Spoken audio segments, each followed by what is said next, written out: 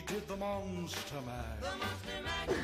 Hey guys, and welcome to our Westside Wired Pumpkin Spice review. I'm Jane. I'm Lena. I'm Madigan. And I'm Baruch, and we're going to be tasting three different snacks from Trader Joe's and Whole Foods. We Let's start? Let's yeah. get after it. All right. First, we have pumpkin Joe-Joe's from Trader Joe's. They are pumpkin sandwich cookies with pumpkin cream filling in every bite. Cheers! Pumpkin spice. One, two, three. Mm-mm, no. I think they're kind of good. I like it. I think we need a fifth opinion. I think so too. Will you, will you break the tie for us? Sure. Didn't sound good. All right, so that's gonna be one point for Trader Joe's. Mm. Good start, first start.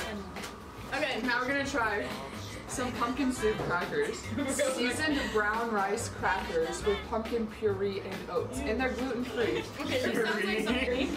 Puree. Puree. Oh, cheers. Cheers. Pumpkin spice.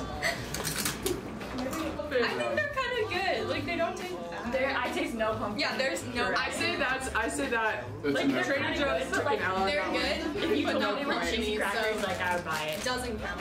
One for two. All right. Food ones would definitely Organic frosted pumpkin toaster pastries. One, two, three. Pumpkin spice. Okay, I need to like split it. You can't really get it. The filling. Mm-mm, no.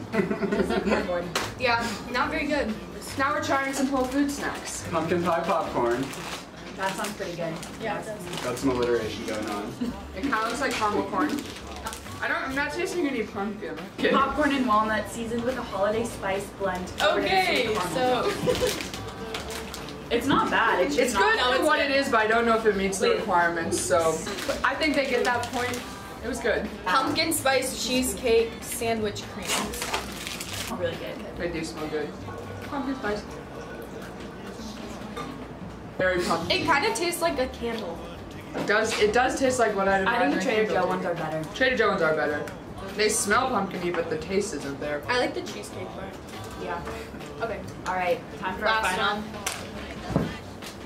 It's pumpkin pie spiced apple filled snacks. I'm biased because I've had these before. Um, I've also had them before. they kind of look like they're covered in cheese. Yeah. Oh, that is horrible. I really do like the texture, but That's the worst part. the texture is so good.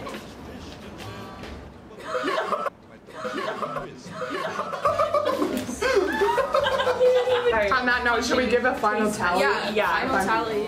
So we have a no for the pumpkin soup crackers because they taste like cheese. A no for the Yeah. organic frosted toaster pastries because they taste like cardboard. And pumpkin Joe-Joe's. We're pretty good. They're pretty good. Yeah. The caramel popcorn, it was good, just didn't really taste like pumpkin. So Turns out it wasn't even pumpkin flavored. Yes. So there's that. these were no, those are disgusting. This pumpkin spice cheesecake, sandwich creams. Um, I think they're pretty good. So You know, personally, I say both sides lose with pumpkin. I'm gonna say the same thing. I feel like if you want something pumpkin, don't go to Trader Joe's or Whole Foods. Yeah. Maybe just stick with your pumpkin spice latte. Yeah. This is Baruch. Not again. Lena. And Jane with our Wired Fall food review.